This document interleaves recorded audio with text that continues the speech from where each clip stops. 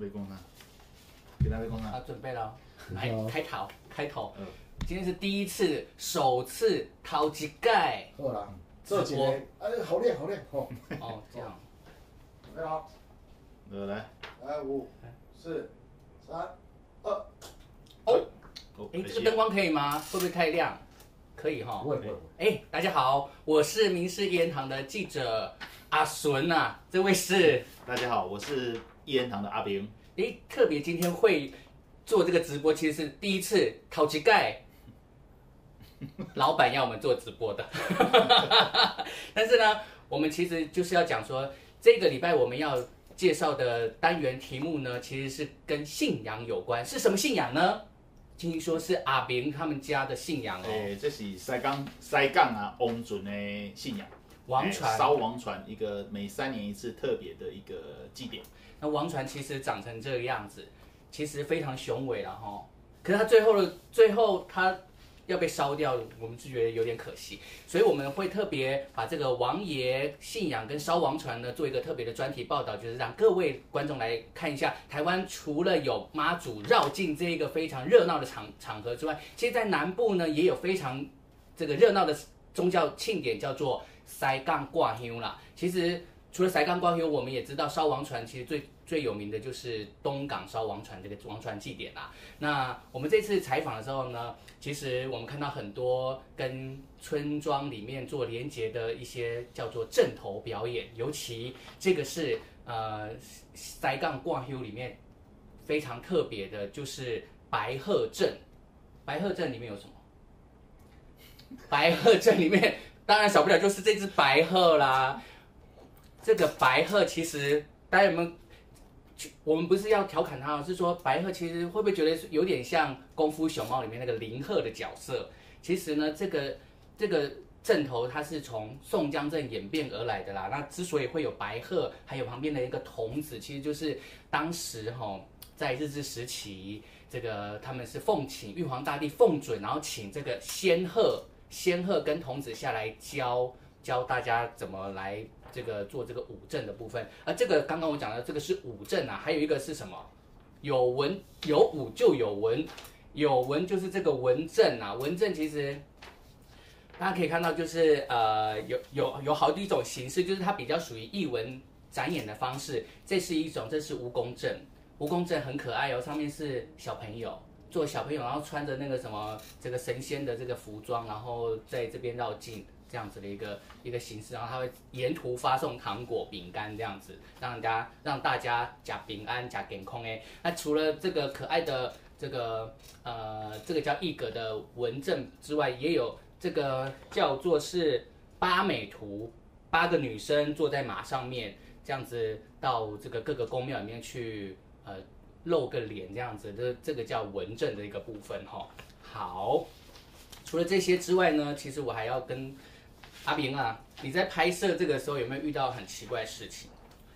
呢，没有。诶完全无呢。那你会不会觉得这个呃烧王船有什么特别有趣的地方吗？哎，烧王船哦，我也没觉得它特别有趣。好，那你们知道王爷庙全台有几间吗？王爷庙全台数起来，我应该有个两三千间吧。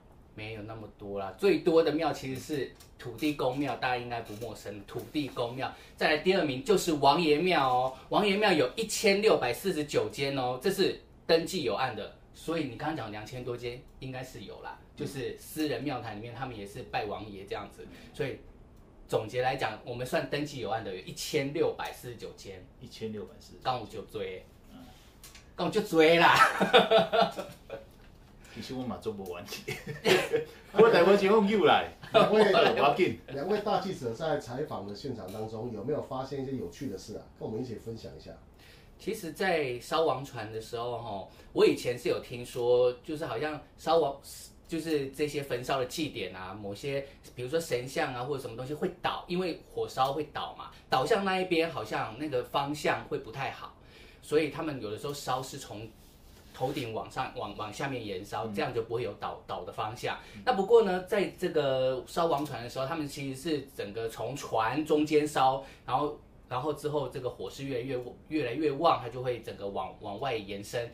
往外延烧之后，才会最后才会把这个船围的部分烧垮。但是船围部分烧垮，就不像我之前讲的这样，好像那个方向就会有不好的事情，反而是那个方向是未来三年会短花电啊，对不对？那个主这个总干事是这么讲的，对就是未来三年导导花电，就是这一次他好像是导向的是东南方的方向，所以东南方的方东南方的朋友，请记得去那边做生意，或者在那边买彩券，说不定好运就会降临在你身上哦。哇，这很有趣哎对。那你这次的采访啊，你们两个这样一组去，那有看到王爷显灵吗？没有，其实王爷信仰是非常需要大家敬畏的啦。嘘，就算有，嘘，我也不会说。但是你知道王爷最主要在做什么吗？他其实是呃，古早时候我们我们听到王爷，其实我们大家都知道，就是他是皇帝的兄弟，所以皇帝他没有办法每天都出去外面巡视嘛，所以他会派他的兄弟或者是亲信出去外面，等于是一品钦差大臣到各各地方去这个这个呃考察善恶啊，考察就是或者是平乱的部分，所以王爷很重要的一个能力，他是可以驱瘟，呃这个平乱驱瘟的这个这个一个功一个能力啦，就是。就是说，当时那个时候瘟疫，呃，大家都非常害怕，然后王爷来了，他可以把这个瘟疫压走、驱散，所以渐渐的会有这样子的一个这个王爷的信仰产生啊。那你这一集啊，你会带领观众看到什么？你觉得最值得看的是什么？最值得看嗯，当然就是要看这个啊，当然就要看这个船啊、你知道这一艘船多少钱吗？多少钱？三百几万，三百龟班呢，而且这个都是实木做的，而且它可以，它是可以航行在水上的。我不敢说海上啊，但是就是它是可以真的可以航行的。你看它的这个风帆都做的这个非常精致，这个跟古法造船是一样的道理的。对，然后就大家可以看一下这艘船有多精致、多漂亮。然后它烧完之后，它它对地方啊，我们的招牌倒了。哎呦，为什么？赶快赶快赶快！赶快挑好。我们记者太认真了，我们今天有实在点激动。是有点太太嗨了，再。强调一下，我们是名师言堂哦。好，我们是名师言堂，好，这个招牌，哎，不能垮，这个这个掉下来就表示掷地有声。其实我们的节目就掷地有声，对不对？对，而且掉到地上都有嗯都有声音，所以大家都要来看我们的节目，真的真的真的。那你们觉得有没有遇到什么感动的事啊？就说这个宗教仪式啊，你看完之后，你看人家妈祖啊，看完之后哇，整个跟着神教这样子，哇，很吸很狂热。这个部分交给阿明，阿明呢，他全程记录哦，所以大家真的他还非常辛苦，他全程记录，从白天拍到晚上，从夜晚拍到凌晨。好了，我们摄影记者分享一下吧。诶、你最大的感动是什么？嗯，你不要像棒槌嘛，最大感动是很累。还是没感觉？最最大的感动，我觉得我有我我有骑我那因为现场不好停车，所以我们是骑机动车辆骑摩托车到那个从西港，然后骑到，因为他们要迎马祖嘛，骑到那个鹿耳门那边。那其实整个路长大概有接近，我如果没记错，大概二十二十几公里。那在古代的话，你想说那这些人，因为我去的时候，我们是有很多人都是坐车嘛，然后可能就是呃骑摩托车这样过去的。可在古代的话，大概都是可能都是走路过去的，可见这么远的距离，但是在古代还是那么多人在走，因为到现代还是那么多人愿意去。那我觉得这个东西，这个东西信仰的力量是真的还蛮蛮蛮蛮伟大的，还是说蛮恐怖吗？还是怎么样？就是让让让可以让人就是 一如 一如既往就是这样一直一直跑一直冲，对啊，啊，果然是摄影记者啊。对一本他是，一文他是三年一次哦三年一次，他每年这个祭典都非吸引非常多那个凝人来。凝聚力是真的蛮强的。但是我这一点就是想要请问一下，我们的摄影界其实他不是一般宗教信仰，他是基督教徒。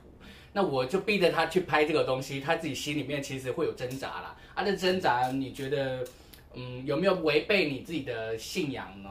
呃，我觉得不会，因为我在拍摄的过程里面，其实看我把它当做是一个我们一个台湾文化的一个一个呈现呐、因为毕竟我们自己在一直在想说要要什么台湾什么在地啦，我们有什么有什么自己的东西，那这些东西就是我们自己的东西，在大陆前可能也没有那么多有关王爷的文化被保存的这么好。那我们在采访庆安宫的过程里面，其实有很多古法的东西是被保留下来的包括换王啊这些这些比较老一点的这些仪式啊，这些这些呃呃需要的那个繁文缛节啊，像这种东西的话，其实我们是保存的蛮好的，甚至保存的比对岸还要好。所以我觉得这些东西才是台湾的软实力，才是我们真正应该要投注心力去关注的地方。那对我我们基督徒来讲的话，我觉得那只是就是这是我们文化的一部分。那我想要去把它记录下来，但跟我个人的宗教，我觉得没有什么没有什么抵触的地方。对，好了，我们来看一下，那我们来听一下，说你们如何推荐你这一集，让让让观众来看，你觉得呢？想要看全台湾特色的正头文化，就来看我们的民事银行这个这一这一集。然后还有就是说，嗯，到底为什么要烧王船？到底这个王船怎么来？到底这个王爷文化是从哪里过来？哪里发迹？呃，传到台湾，为什么台湾又会把它变成一个是在地属于特色、在地专属的一个文化？而且它只在南部哦，为什么北部比较少，南部比较多？这一集这个就要看我们的这个节目。几点几分啊？你能不能跟观众推荐一下？要锁定每周六晚上，我们下个礼拜呃呃啊，要锁定下礼拜是礼拜几？二十一号。来，我要看一下我的想，我要看一下我的二十二号，二十二号。我觉得锁定就好，因为锁定那个就好了，因为因为我如果这一集们没我们以后可能会一直播一直播。不没关系，哎，没对啊，我就不要下礼拜时间点时间点，就是说锁，定这个这个没有关系，这个没有，你不要把它线性结构，就是放在上面，人家知道你有这一集，他也是你你上次就好了，你上次就好下面会附连结啊。啊好。那我就讲一下想要知道什么是王爷文化，想要知道王传是从哪里来的，就要看我们这一集的明士一言堂。我们这一集的明士一言堂将在六月二十二号晚上，这个叫做是九点五十五分。自己都忘记自己的节目在哪里。好，重讲一次。好，想要看什么是王爷文化，想要看什么是王传，为什么而来，它有什么样子特别的含，呃，这个，嗯，好。想要知道王传怎么来，王爷信仰又是怎么一回事，请锁定本周六，也就是说六月二十二号晚上九点五十五分，第五十三频道民视新闻台的《民视一言堂》。拜拜。拜拜。其实你有很多没有讲到，就是说我们他那个时候在拍，在拍，在拍游荡游荡犬的时候，你那时候也同时在拍王爷，然后你不是手机就不见了吗？然后你不是就跟内心跟你的老大讲说，还是你最大？哦奇迹式的那个电话就就打来，就是说你我捡到你电话了。哦，就是还是耶稣比较，还是耶稣比较厉害啊，对。我们没有在讲谁比较厉害，我们在讲说这宗教我然后 各有各特色。我的手机不见了，然后我人家捡到我的手机，那我下车的时候呢，我跟我的老大讲，呃，难道是因为我拍王爷，然后他要惩罚我吗？结果没有，呃，我一下车，有人捡到我的手机了，打电话给我，呃，应该说打电话给永存，嗯，呃，我重新讲一遍了，哈，你比较好剪。呃，我那个时候手机掉了，因为那个时候我在拍王爷，然后那个时候我就跟我的老大讲说呢，老大你是不是，呃，对我有一些不满啊，是吗？让我因为我手机平常是有拉链弄，不太可能会掉。OK，那既然掉了，那我就觉得嗯，好吧，那我就拜托我老爸说，哎、老爸，东西能不能还我？手机能不能回来？那结果过了三十分钟后，有有人打电话给永春，就用我的手机打电话给永春说：“哎，这是我们手机。”然后我就说：“哇，真厉害！”然后我们就回去拿手机嘛。那一下车，我看到一楼，它就是教会。嗯，对。然后那个捡到我手机的人是从教会上面下来。嗯，对对对对，那个时候我就觉得哇。我的老大还是看顾我的，当时差点流下两滴 奶。对对对对对,對。好了，我把它音质在里面就。哎，等你。